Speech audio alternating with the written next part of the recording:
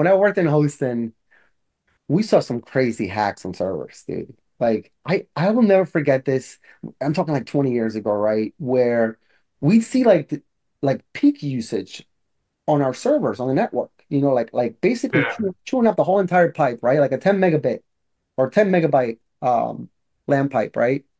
Uh and and you know, you go into the server and you would see that it was hardly being utilized. It it, it turns out some of these some of these hackers would break in and they would they would bypass the UI. So what the server was reporting visually in terms of usage wasn't actually the case. You know, it might have been using 1% CPU or 3% CPU. It was actually at 100%.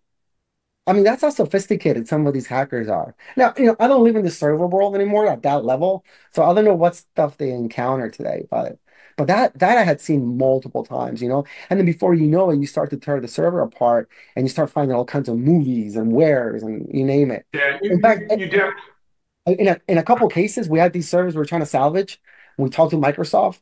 They're like, "Look, you got to wipe the hard drive. You got to start from scratch. There's there, we, we can't save this." Yeah, Microsoft's saying that, right? Microsoft. Yeah, yeah. Like, sorry, man. Like, you know, I That's hope you have. they, I, I, I, I- I've been using Mac for 10 years. I've gone back and forth between Macs from like Mac 1 and my, you know, literally way back when.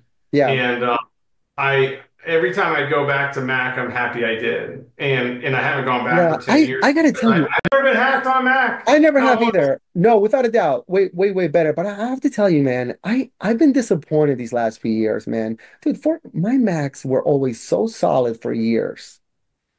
Yeah. Now I just I like they they just have to polish up the the OS still. Like these